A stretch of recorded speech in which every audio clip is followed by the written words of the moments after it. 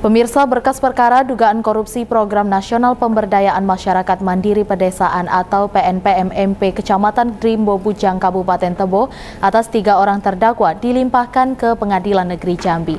Para terdakwa diancam pidana dalam pasal 2 dan 3 Undang-Undang tentang Pemberantasan Tindak Pidana Korupsi. Berkas tiga orang terdakwa yakni Sardi, Ketua UPK Arta Makmur, Barokah Sekretaris, dan Erni Erawati sebagai bendahara dalam perkara dugaan korupsi Program Nasional Pemberdayaan Masyarakat Mandiri Pedesaan atau PNPMMP. Kecamatan Rimbo Bujang, Kabupaten Tebo dilimpahkan ke Pengadilan Negeri Jambi pada Senin 11 Juli 2022. Untuk perkara tipikor dari Kejaksaan Negeri Muara Tebon ya Tebo atas nama terdakwa 1 nomor perkara 24 Eni Erawati binti Narji. Terdakwa 2 Sardi bin Haryanto. Terdakwa 3 Barokah bin Maksum.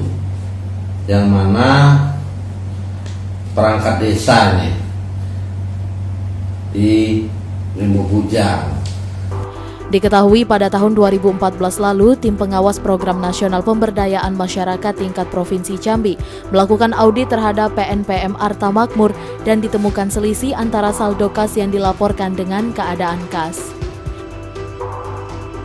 Hasil tim verifikasi menemukan adanya selisih sebesar 771,4 juta rupiah dan menemukan 17 kelompok fiktif di Desa Berintis, 3 kelompok fiktif di Desa Tegal Arum, kemudian desa-desa lainnya terdapat 4 sampai dengan 5 kelompok fiktif.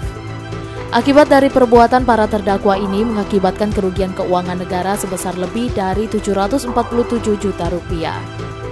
Para terdakwa diatur dan diancam pidana dalam pasal 2 ayat 1 junto pasal 18 ayat 1, 2 dan 3 Undang-Undang Nomor 31 Tahun 1999 tentang pemberantasan tindak pidana korupsi sebagaimana telah diubah dengan Undang-Undang Nomor 20 Tahun 2001 tentang perubahan atas Undang-Undang Nomor 31 Tahun 1999 tentang pemberantasan tindak pidana korupsi junto pasal 55 ayat 1 ke 1 KUHP.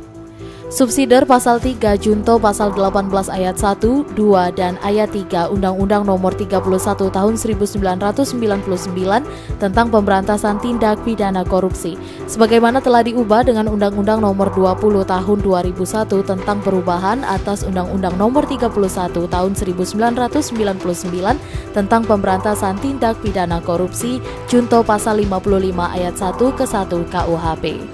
Iqbal Cek TV melaporkan.